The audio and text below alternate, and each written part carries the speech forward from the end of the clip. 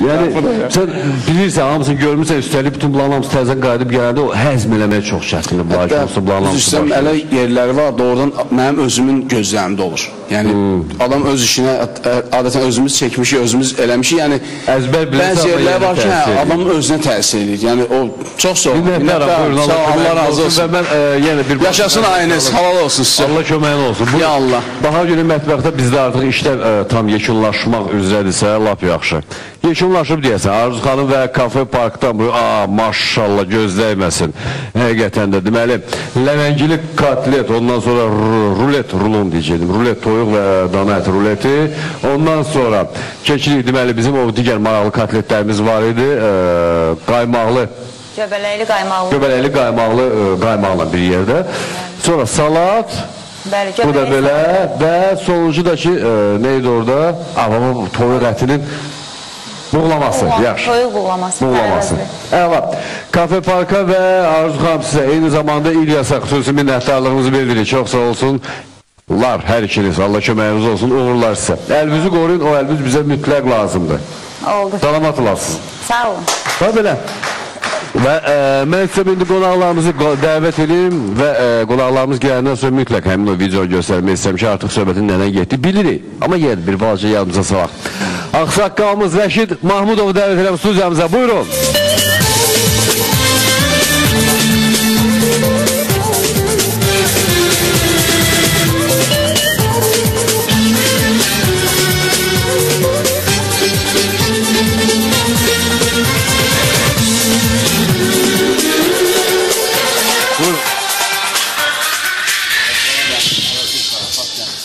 əyləşin, xoş gəlmisiniz Rəşid. Mənim necəsiz, vəziyyətiniz necədir? Salamatsınız maşallah. Allahın köməyi ilə yaxşısınız. Faydasında. Və daha bir qonağımızı istəyəm dəvət edib gəlsin. Ə, artıq söhbətimizə başlaya bilərik. İlahiyyatçı Hacı Şahini dəvət edirəm studiyamıza. Buyurun.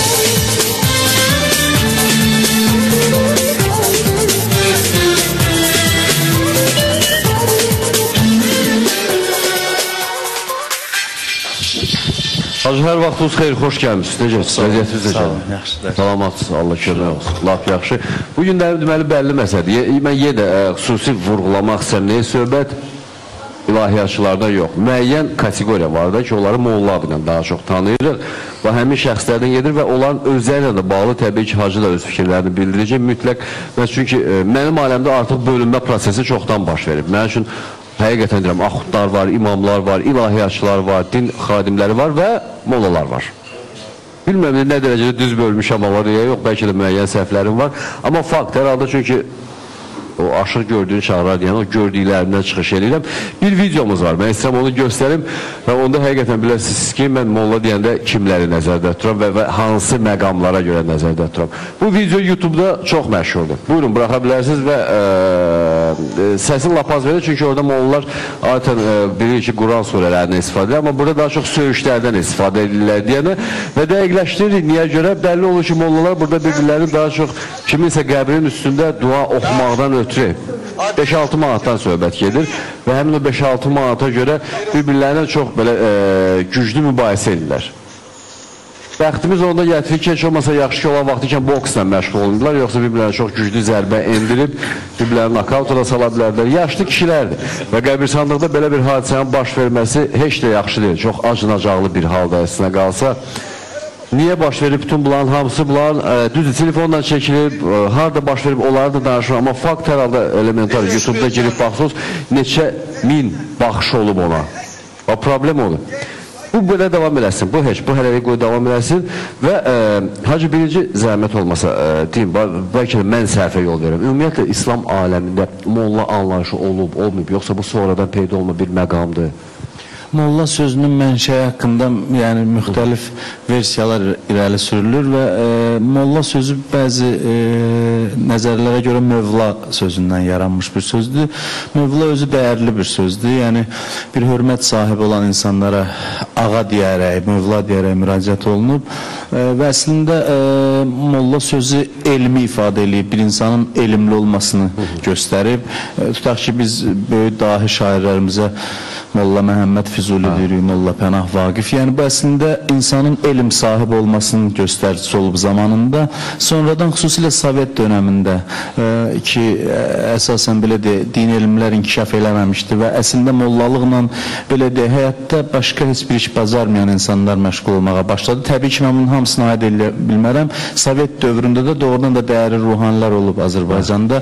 Dini dəyərləri yaşadıblar. Amma bunların bunların yanında eyni zamanda dinlə heç bir əlaqəsi olmayan, sadəcə gün keçirtmək üçün, e, din hesabına yaşamaq üçün bir zümrə, bir qrup insan da formalaşıb və onların da ə, yəni əsasən də həmişə tənqid hədəfi olublar o insanlar e, Sovet dövründə xüsusilə. Yəni xurafatın, mövhumatın rəmzinə çevriliblər bu insanlar və bunlar molla adlandırılmağa başlanıb və təəssüf ki, molla sözü də dəyərdən düşüb. Əslində e, keçmiş dövrdə molla dedikdə savadlı insan insanların gözünün önündə canlanırdısa, bu gün əslində bu dediyimiz həmin o e, mənfi bir imic yaratmış insanlar e, molla adı ilə adlandırılır. Amma ümumiyyətlə molla özü dəyərli bir sözdür. Sadəcə olaraq o, o adı daşıyan insanlar o sözün məsuliyyətini e, anlamaqları lazımdır ki, o insanlar əslində elm sahibi və hər baxımdan cəmiyyətdə nümunə olmalıdırlar. Yəni molla alimdirsə peyğəmbərimiz buyurub ki, alimlər mənim varislərimdir. Yəni molla elm və əxlaq sahibi olan, dini elmlərə kamil şəkildə yələnmiş bir insan e, adlandırıla bilər. Təəssüflər olsun ki, yəni e, bu söz bizim zehinlərimizdə təhrif olunur və bunda da bəzi o dırnaqarası mollaların xidməti çox böyük olub. Sabir, e, din, din, din adamsan bilirəm ki, dini təhsilin də var və Suriyada səhvləmirsə təhsil almısan da uzun müddətdə. Suriyada necədir? Orada ümumiyyətlə bu e, cəmiyyətdə bizdəki olduğu kimi məs dini liderlər bəlli məsələ var. Amma məs o molla deyilən şəxslər var idi, yox idi. E, yox, orada elə bir elə bir şey yoxdur. Əslində molla, yəni hacının qeyd elədiyinə biraz əlavələr eləyim. Molla elə bir mərhələdir ki, elmdə, yəni hər alim gəlib o mərhələyə çata bilmir. Yəni tariximizə baxsaq İslam alimlərinə çoxlu alimlərimiz var, amma bir dənə molla sədramız var məsələn. Yəni bir dənədir molla sədra bir dənədir. Şairlərimizə baxaq, Hacı qeyd edeyim ki, çoxlu şairlərimiz var. Molla Məhəmməd Füzuli bir dənədir. Və yaxud Molla Pənah Vaqif də var. Yəni molla elə bir ki, e, necə deyim, General leytenant. ən generalissimus hətta mən Hətta. deyərəm, generalissimus. Yəni Aha. ona hər adam çata bilmir. Yəni o o mərhələyə hər adam. O da bütün elmlərdən xəbər. Əslində e, Hacı qeyd elədi bir mənasını. Mən də bir başqa bir lüğəti mənasını ki, sözün kökü mələə, yəni dolmaq. Molla e, burada Arap dilinde e, bizim lor dilləsə şişirdilmiş formaya deyirlər. Fu'la babıdır. Molla yəni daha çox daşan, daşan. Aha.